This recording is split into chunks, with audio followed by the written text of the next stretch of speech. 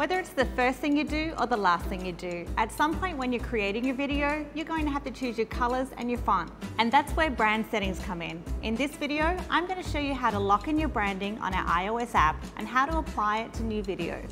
It's going to save you a bunch of time and keep your stories looking consistent.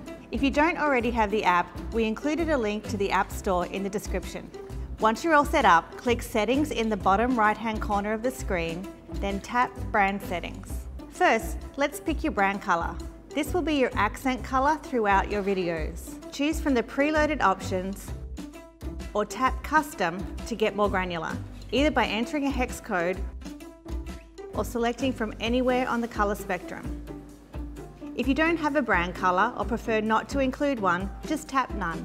Next, tap Font and choose the font that best fits your brand personality and aesthetic. Finally, hit logo to open up your camera roll. Select your logo and you're good to go. From now on, when you start a project, even if it's with a template, you'll have the option to apply your brand color, font, and logo in a single tap. Say we start with the Inspiration Mood Board template. All accents will be in your brand color, all text will be in your preferred font, and the logo in the final block will be yours. It's the same story if you start from scratch.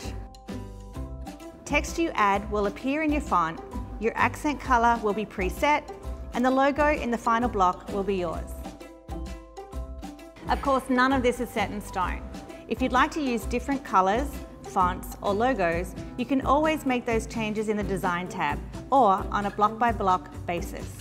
And you can always change your brand presets in the Settings menu. If you have any questions about brand settings or our iOS app in general, let us know in the comments. And don't forget to hit subscribe for more guides like this one. Thanks for tuning in and I'll talk to you soon.